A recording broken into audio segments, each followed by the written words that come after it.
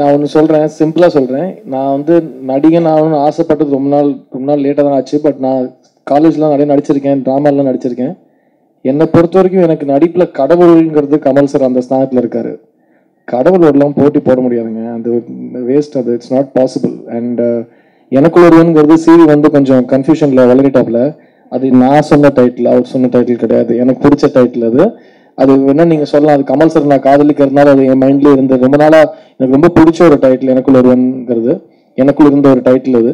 அது இந்த படத்துக்கு ரொம்ப சூட் ஆகும்னு எனக்கு ரொம்ப தோணுச்சு. அண்ட் சிவி uh, தான் எனக்காக மெனக்கெட்டு போய் புஷ்பகன் சாமி மேடம் இந்த கிட்ட போய் பேசி டைட்டில் வாங்கி கொடுத்தாரு. ஸோ அதுக்கு தேங்க்ஸ் சொல்லணும்.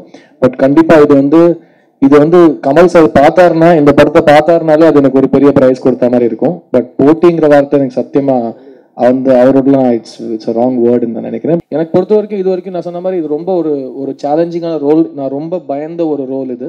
பிகாஸ் uh, நான் சொன்னேன் இல்லையா ஒரு ஒரு நடிகன்னா யூஸ்வலாக தூரத்துலேருந்து பார்த்து ஆ இந்த பையனா இந்த கம்பார்ட்மெண்ட்டில் வைங்க. இதனால் இது மட்டும் தான் பண்ண முடியும்னு ஒரு ஒரு ஒரு ஒரு அப்படியே செட் பண்ணி விட்டுருவாங்க. அதுக்கு பேர் தான் டைப் காஸ்டிங் நான் அந்த டைப் காஸ்டிங்கிற வியாதினால் நிறைய சஃபர் ஆகிருக்கேன் ஸோ அந்த சாக்லேட் பாய் இந்த மிட்டாய்ங்கிற வார்த்தை நிறைய எனக்கு சேர்ந்துருக்கு பத்து வருஷமாக அதை வந்து துரத்தி துரத்தி நான் வந்து வேறு வேறு டைரெக்ஷனில் ஓடிட்டுருக்கேன் ஸோ ஜிகர்தண்டாவாக இருக்கட்டும் காவித்தலனாக இருக்கட்டும் இந்த எனக்குள்ளூர்னா இருக்கட்டும் இந்த படங்கள் அந்த சாயல் வரக்கூடாது இவன் சும்மா பக்கத்து வீட்டு பண்ண லவ் பண்ணுறவங்கிற மாதிரி ஒரு இமேஜ் இருக்கக்கூடாது ஒரு நடிகனுக்கு. எல்லா நடி எல்லா கைண்ட்ஸ் ஆஃப் ரோல்ஸும் பண்ணுவான் எவ்வளோ வெரைட்டி கொடுத்தாலும் ட்ரை பண்ணுவான்னு ஒரு ஒரு இமேஜ் வரும்னு நான் எதிர்பார்க்குறேன்.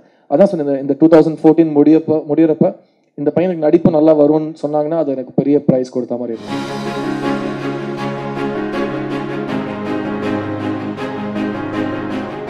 இல்லை அதுக்கும் இதுக்கும் ஆக்சுவலாக சம்பந்தம் கிடையாது. நீங்கள் படம் படம் பார்த்தீங்களா நீங்கள் கன்னட படம் பார்த்தீங்களா இல்லை ஒரு வாட்டி பாருங்கள் இல்லைன்னா வெயிட் பண்ணுங்க. இன்னும் கொஞ்சம் மாதத்தில் நாங்களே வந்துடுவோம் பாஷை புரிஞ்சுக்கிட்டே பார்த்துடலாம் அதுக்கும் சுஜாதா சார் கதைக்கும் சம்மந்தம் கிடையாது. அதில் ஒரே ஒரு ஒரு சாப்டர் மட்டும் ஒ- ஒரே ஒரு ஒரு ஒரு செக்ஷன் மட்டும் ஒரு ரொம்ப இன்ட்ரெஸ்டிங்கான காமன் இருக்குது அது கதை கிடையாது. கண்டிப்பாக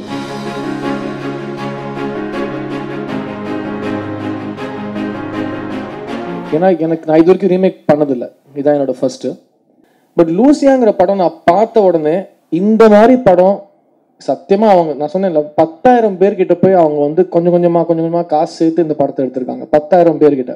அவர் பத்தாயிரம் பேரை கேட்டாரு நான் ஒரு ப்ரொடியூசரை ஃபோன் பண்ணி கேட்டேன் நான் சிவிக் ஃபோன் பண்ணி எனக்கு இந்த ப்ளீஸ் இந்த படத்தை கொடுங்க. பிகாஸ் இந்த படம் நீங்க எனக்கு இப்போ கொடுக்கலனா இந்த மாதிரி படம் ஒரிஜினலோ ரீமேக்கோ திரும்ப எனக்கு வருமா வராதுன்னு தெரியாது.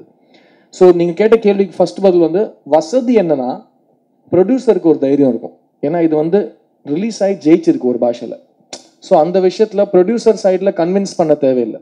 ஸோ பிரசாத் வந்துட்டு லூசியா ரொம்ப காதலிச்சு. At the same time Lucia டேரக்டருக்கு ஒரு புது படத்தை காமிக்கணும்னு அட்டம் பண்ண படம் தான் எனக்குள்ள ஒருவன் பிரச்சனைகள்னு பார்த்தீங்கன்னா சில டெக்னீஷியன்ஸ் இருக்காங்க. ரொம்ப திமிழ் பிடிச்ச டெக்னீஷியன்ஸ் கோபி அமர்நாத் மாதிரிலாம் இருக்காங்க. டேய் படத்தை பாடுறா செம்மையாக எடுத்திருக்காங்க. நான் பார்க்க மாட்டேன். டேய் படத்தை பாடுறா ஒரு வாட்டி பாடுறா நல்லா எடுத்திருக்காங்க. ரொம்ப ட்ரை பண்ணியிருக்காங்க நான் பார்க்க மாட்டேன். இது வரைக்கும் பார்க்கலங்க படத்தை. நான் வந்து ஒரிஜினலாக எடுப்பேன்னு சொல்லிட்டு. நான் சொன்னேன் நானும் ஒரிஜினல் பார்த்தேன். அதுக்கு நான் அந்த பையமே நடிக்க போகிறது இல்லை நான் எனக்கு வரதானே பண்ணுவேன். அதே மாதிரி நீ பண்ணுன்னு சொன்னால் இந்த மாதிரி சில இன்டர்நேஷனல் டெக்னீஷியன்ஸ் தான் படுத்துவாங்க அது ஒரு பிரச்சனை. இன்னொரு பிரச்சனை என்னென்னா ஒரு கன்ஃபியூஷனுங்க அந்த என்னென்னா சூப்பராக இருக்கு அந்த படம் அப்படியே எடுக்கலாமா? இல்லை நமக்கு ஒரு சுயநலம் இருக்குது நம்ம வந்து நமக்கு ஒரு கான்ஃபிடன்ஸ் இருக்கு ஒரு தம் தன்னம்பிக்கை இருக்குது நம்ம கம்ப்ளீட்டாக அதோட அந்த கருவை மட்டும் எடுத்துகிட்டு கம்ப்ளீட் வேறு மாதிரி போகலாமான்னு ஒரு கன்ஃபியூஷன் இருக்கும். அந்த கன்ஃபியூஷனை வந்து பிரசாத் மாதிரி ஒரு ஃபஸ்ட் டைம் டேரக்டர் வந்து வித்தின் டூ டேஸ் எனக்கு அந்த கன்ஃபியூஷனை போக வச்சிட்டாரு. இது நம்ம படம் சார் இதான் சார் அவங்ககிட்ட நம்ம எடுத்துக்கிற ரூட்டு மற்றதெல்லாம் நான் சொல்கிறது தான் சார் உங்களுக்கு சீனுன்னு சொல்லிட்டு ஒரு தைரியத்தோட பிரசாத் கதை சொன்னார். ஸோ இதான் வசதி அண்ட் ப்ராப்ளம்ஸ்